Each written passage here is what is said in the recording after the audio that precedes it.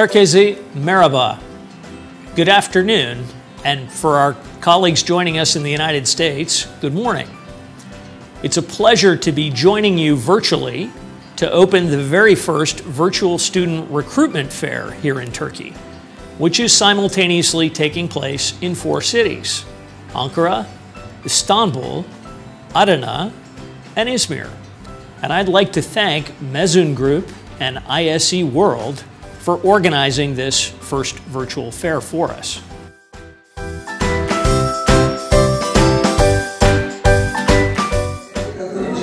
Sevgili öğrenciler, sizleri ABD Büyükelçiliği, Education USA, Türkiye Fulbright Eğitim Komisyonu, Mezun Grup ve ISF ortaklığıyla gerçekleştirilen Türkiye'nin ilk dijital yurt dışı eğitim üniversitemize ağırlamaktan dolayı memnuniyetim belirterek sözlerime başlamak istiyorum. Hepiniz hoş geldiniz, onur verdiniz.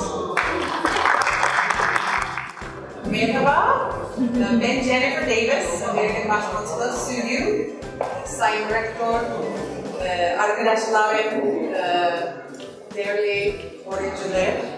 E, Maalesef e, Türkçem biraz kötü. Bu yüzden benim arkadaşım tercüme edecek.